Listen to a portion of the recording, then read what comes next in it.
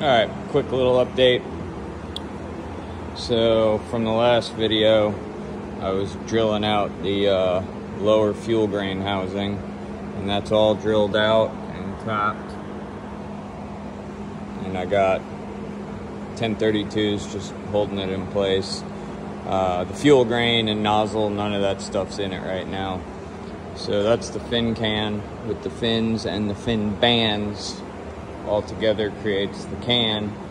I'm not really happy with it. This tube is slightly different um, than what I built these bands with and the fit up I'm not crazy about.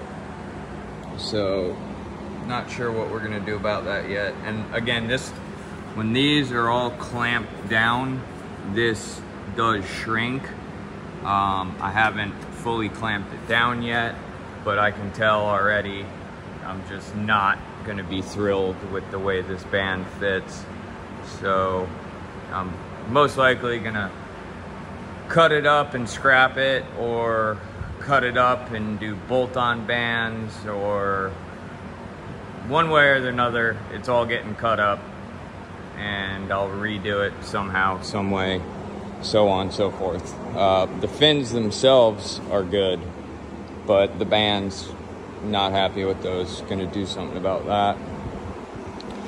Moving forward, got the titanium standoff tubes on there. Uh, they're drilled and tapped, and there's a stud in here, 3 8 by 16, studded here, here, here, and here. And then that goes up to that retention bulkhead that we were working on in the first video. And that right there is the 48 inch payload tube. That's really long. It's actually gonna get cut, but I'm just using it for fit up and layout purposes right now. And yeah, so this is gonna be a really short one. I got a dreaded dentist appointment I gotta head to here in a few.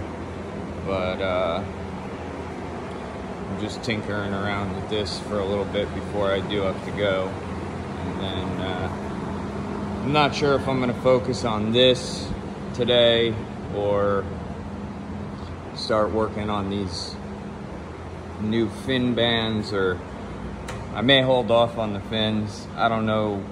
I'm not sure exactly what direction I'm going to go in yet. Like I said, the fins themselves are good.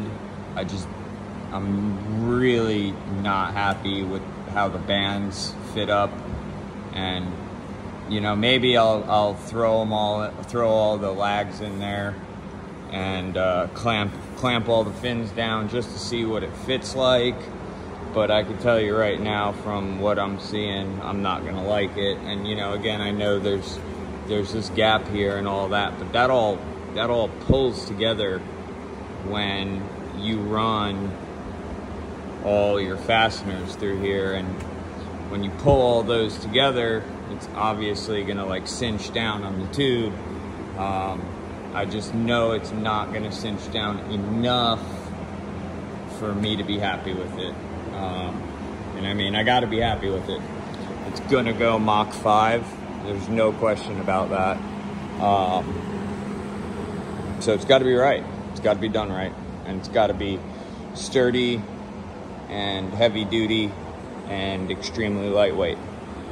But anyway, that's it for now. Just a quick, quick run through and update on where I'm at on this thing. And uh, I'll keep it going.